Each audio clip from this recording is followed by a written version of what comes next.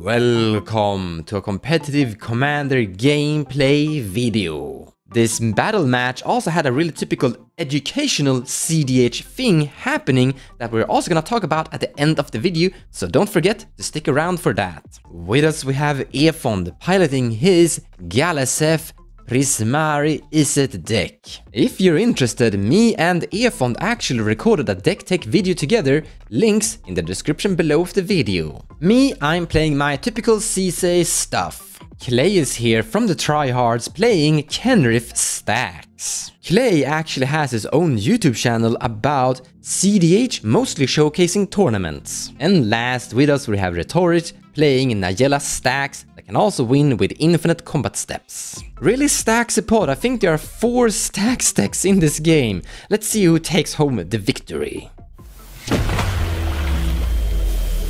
I will begin four player card draw. Here it is. Putting a Bayou into play. Tap the Bayou for an Elvish Mystic. We'll attempt to cast a Chrome Mox, exiling an Elves of Deep Shadow. I will pass the turn. Draw a card. Put in a Marsh Flats and immediately crack it. Plateau, I think. Yeah. Mana Crypt, tap.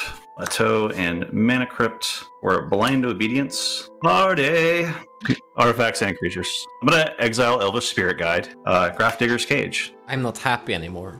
Yep, you got it. Right, alright, I'm good. You'll have to rename the title of the stream Fair Magic. Yes, you, you know what? You know what? we should do that. So this is a this is a Git probe. Yep. Okay, so I see I see them all. You got it. Draw for that. I'm draw a card. Polluted Delta that will crack immediately for a black and a green. Cost Avacyn's Pilgrim has the turn after finding my Bayou. We're going to play a Scar- Scalding Tarn, which we are going to crack.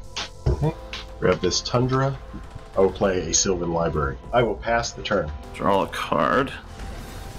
Play a tropical island. I will pay three and cast N- Najeela. Pass turn. I'm gonna be brainstorming. Draw one, draw two, draw three. Okay, yep, gonna put that back. And then I think I will just go ahead and put this back. And then I'll go to my turn. And tap, upkeep, draw. Uh, Lotus Petal, Polluted Delta. I will pay a life cracking the Polluted Delta to shuffle away that other card on top that I didn't want to draw. Uh, I'll be getting a Volcanic, keeping the Volcanic open, and cast Magda Brazen Outlaw. Oh, nice. How annoying that she, she and artifacts enters tap. Then I'm done. I'll be passing the turn. Draw a card. Uh, I'm gonna cast my Commander Sisay and uh, pass the turn. Uh, untap, upkeep. Let's check the board to see if there are any Hullbreachers in play with my Sylvan Library. None. I will take the eight and keep the three. It's like a chill vibe. I'm going to take the uh, the two and put the breeding pool into play untapped. Life is a resource. Yes, and you know how to spend it. Paying 8 for with Sylvan Library is either really brave or suicidal considering this is probably gonna be a long game with a lot of stax in it, and there's a Najeela running around. Uh, Lavinia on the stack. Go with me. Comes and tap. To cast Yisan, Wanderer Bard. Yep, I'm a response. Yeah, no response. And it comes in uh, tapped. No, I, I I am very glad that Grafdigger Cage is here. Uh, a lowly little Wanderer Bard, just you know, trying trying to deliver his or her catch of whatever. Ironically, except for rhetoric, we all have something on the board that is affected by that Grafdigger Cage. I will pass the turn. Draw a card. Um, we'll do two. We'll do Najeela and uh, a warrior coming at um, play. As one does. And hey, this time I actually wrote warrior. I did soldiers on your last stream, so sorry about that. Ah, huge upgrades. Uh, it's like soldier, soldier, soldier, soldier. And I'm like, and somebody's like, dude, it's warriors. I'm like, yep. So I willingly take your warriors to the face. Okay. Second main phase, I'll play an exotic orchard, zoom in a crypt, and plateau. And I'm gonna cast Archon of Emeria. Oh, nice. Thankfully, that was in turn one. Yeah. Currently, with both Blind Obedience and Archon, everything comes into play tapped. You extort everyone? Yeah, I'll extort everybody one. I'll do with with uh, Birds of Paradise. Why does people play stax? It's annoying. It's funny because I'm probably the biggest stax player you can find inside the entire cEDH community. Astron. One tap, upkeep, I will draw. I'll be playing a snow-covered island. Galazeth. Uh, let's find that, that treasure token I have right here and put that out here. I think Rhetoric has has clay under control. I'm gonna come at you, Mons, for two. Yeah, I'll take two. When I tap it, I will get a treasure. I will pass the turn after that. I'm gonna untap, uh, draw a card, Let's play a, a Darkwater Catacomb, tapped, really sad, and pass the turn. Oh, Yeah, that Archon really hit good. I gotta say that. And it was a perfect timing. Yep, keep. Uh, checking again for the old hold Hullbreacher. Hold the three. Yep, we are going to those two back and draw the one. Windswept Heath comes into play tapped. I'd like to change my answer to your previous question, Mons. I do not think this was a good uh, pod for me at all.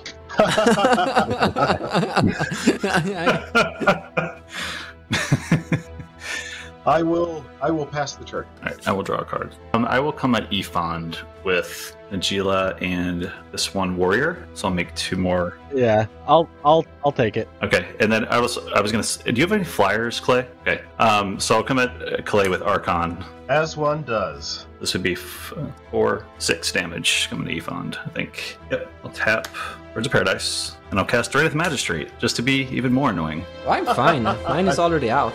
I think Clay is the one getting annoyed now. Yeah, That's why. That's why I'm laughing. Where did I set that removal? I am passing. I guess I'm gonna just put a prismatic vista in tap. I'm just gonna sit here with my scary dragon and uh, pass the turn. I'm gonna untap. I'm gonna draw a card. It's a nice looking card. And we wanna cost Kinnan and put uh, Gaia's Cradle into play tapped and pass turn. End of turn. I'm gonna tap Yisan. Put a verse counter on. But you you you can still do this just to put verse counters on him, which is probably good anyway. But the shuffling is nice, Yeah. especially with the, uh, the library. Okay, proceed to my turn. Tap. Upkeep. Man, that music is inspirational. I feel like I'm uh, Rocky Balboa, like like in Philly, like doing this doing the steps thing. You know, kind of. I'm happy you like it. Okay, uh, top three. Put two back in the hand. You know, I mean, you have card draw. We others don't. We're just top decking here, kinda. Uh, I'm going to attempt to cast Diabolic Intent. Sacrificing is an additional cost. Yeah, the uh, Elvish Mystic. I have no response. I only have responses for rhetoric. Yeah, you I get you it, were in my heart. you're in my heart. Is great. W11. It's the best kind of warrior. Yep. it's just the new recruit, you know? They get like, they have no names. Say, hey, W, get in the back of the line. Get ready for chow. I will pass the turn. Draw a card. All right, I will send these three warriors at Clay, which makes three more warriors, so six warriors coming at Clay. Block where I can, taking the four. Man, that feels good. It's okay, buddy. I would attack me too. Zadok Orchard, and I'll cast Collector Ouphe. Oh, okay. that is what this deck does not want to be. I want rhetoric dead so badly right now. I know, I know. I, know. I thought I was like, you had eyes for me, and I'm like, oh, I'm feeling really flattered, and then I'm like, oh, I'm gonna play this, and but it's a response. Yeah, I don't. I don't care about Ouphe. It's good. Uh, yeah, I wish I could stop it. So here you go, chip the turn. Untap, upkeep, draw. I am going to uh to sadly pass the turn while I do nothing in this game. I'm gonna untap and I'm gonna draw a card. And I'm gonna do something that is gonna look extremely scary. I'm gonna cast a Seedborn Muse. I would like to point out there there is a Grafdigger's kit show. No, there's there's none of that. Comes and tapped. My bad. Insult, Even if you're gonna insult to injury. Ah, yeah, yes. Well, what I like is that it means you could easily swing your Sisay out. True. That uh, that can actually go somewhere. That can go places. Uh, I want to go to combat. No, Redrick, you have enough life. Sisay's coming your way. A 4-4. okay, sounds sounds good. And I can't do anything more, so I'm going to pass the turn here. Okay, so at the uh, end of your turn, I'm gonna crack this windswept heath for land. So entering my turn, Mons, you untap. Yes. Take a look. Look. We'll put those two back as we do at 13 life. We'll go blue, green, other. Attempt to play an Oko. I think we have to work together and use all our resources to to get rhetoric under control over here. Yeah.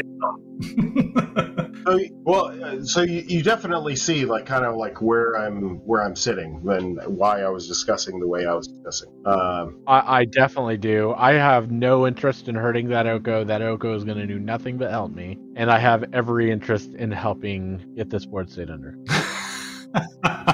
so my my natural instinct is telling me that uh, I should Oko Najeela. I agree. I will uh, attempt to make Najeela a three three L. Sure. I'm not necessarily content with where I'm at, but I feel better where I'm at, and I will pass the turn. Uh, in your end step, I'm gonna activate Sisay just to see if there's anything in the deck that I can pull out that is not a creature, that is legendary. Ah, I do! I have a legendary Gemstone Caverns. There we go. Nice.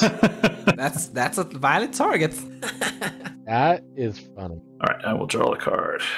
All right, we will send a nice team. Yeah, I'll just send it all at you, directly at you, uh, Clay. Neat. Direct directly at me. Um, we'll block a, warrior. Uh, we'll block an elk, and that leaves five. Yes. Yeah. Uh, Lavinia dies a horrible death. And you know what they say? Player removal is problem removal. Man, I am jamming to that music. Yeah, it's good. Um, I'll cast Null Rod. Oh, nice. Hold on. I'm gonna Force of Will that tossing a Sea Gate Restoration. Neat. And then uh, we got an extort trigger, so I'll pay uh, Exotic Orchard and then extort you all for one S to be fund. Untap, upkeep, give me something good. Uh, yep. Um, I'll pass. Uh, now I actually do want to search. So activate Sisay, tossing things all over the place. Finding I, I can find anything that is not a creature, right? Ooh, maybe a legendary enchantment per, perchance? No, not a legendary Oko? enchantment. Not an Oko either, because I don't have it. Teferi, Time Raveler. Uh oh. Oh. Yeah, seems seems fair. Yes, we talked about fair magic. No, he's gonna bounce the graft. He's gonna bounce the Grafdigger cage. Is what he's gonna do. Yeah, because I think he might actually be able to win right here. Because I think he bounces. Yeah, he has the win. He has the win set up. I do. Clever Efond, but clever too late. This is actually quite common in Sisay. You sit there and you wait patiently, and you just, okay, let's guys, I'm just gonna activate Sisay, and they say, okay, sure, what you gonna do? And you go, Teferi, and they go, oh, oops. I actually have the win, but not in the cool way you think. Draw a card for the turn. I'm gonna activate this guy and bounce the Grafdigger's Cage to draw an extra card at this turn. Now, did you switch the music have the intensity change when you're going for the win? Of course I Did do. just naturally you know me. So white white to Esper plus white, red, and a ton of green mana. And activate Sisay. Find the Revi. Comes in tap. Yes, it does. So we are going to untap. No, we're gonna untap that one. There we go. Untap Cradle. Now we're gonna play a card for the turn. Here's an Esika, God of the Tree. Oh. mm. I would like to go to combat with I would like to go to combat with Kinnan and Sisay at Clay here. Uh, how much is that? Is that seven exactly? Uh, that is seven exactly correct. Uh, I guess in preservation of my own miserable life, I'll attempt to throw Yisan in front of, in front of uh, Sisay. Sure. Uh, die, die, you peasant.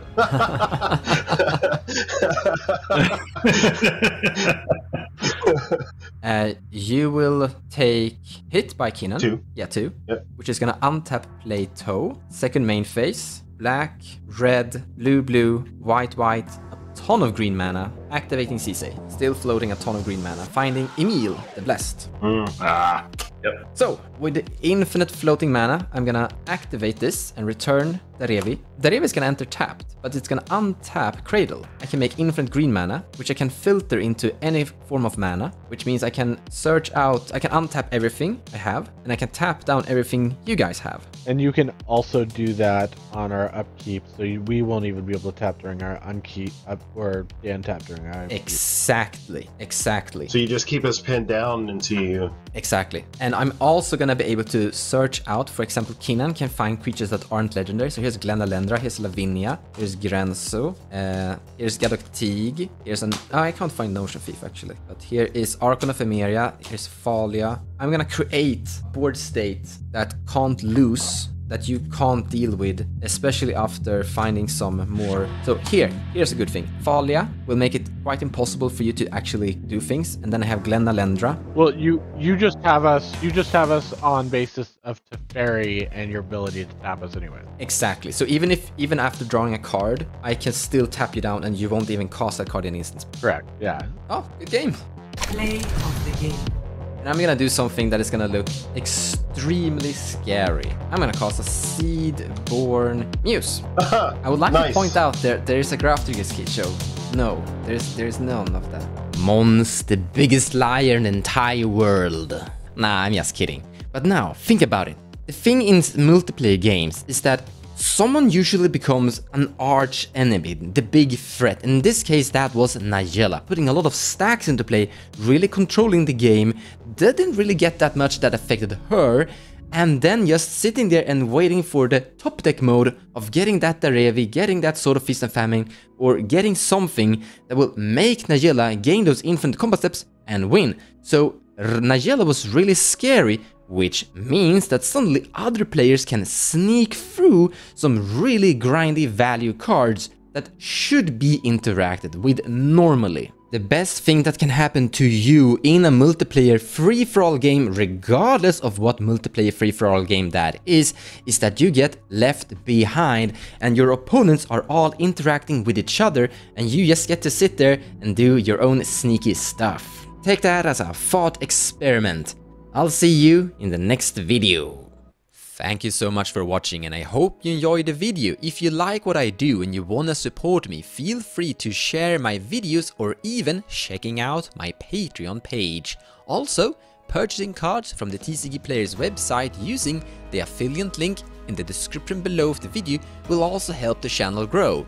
So a big thank you to all of you.